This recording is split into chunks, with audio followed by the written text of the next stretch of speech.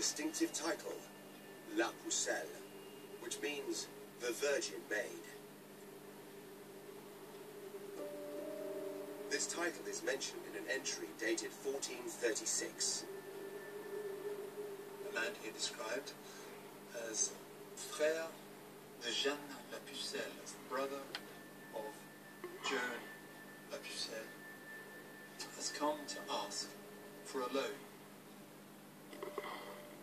The document goes on to say why Joan's brother was in need of this money. To return to join again with his sister.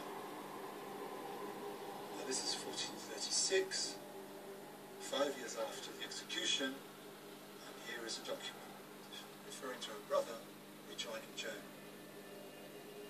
Crick thinks the name La Pucelle can only be referring to the real Joan of Arc.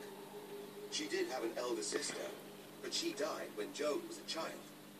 If he's right, then this sentence suggests that Joan wasn't executed. But there's more. It looks like someone might have tried to keep the story of her survival hidden. Craig has a summary of the original text document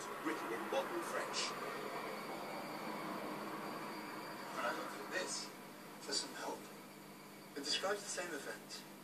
Jean Dulis, frère de la